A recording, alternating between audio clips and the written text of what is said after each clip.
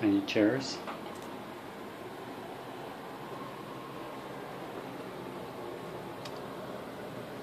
Not sure why they need earplugs. Here comes the bathroom. Better close the door.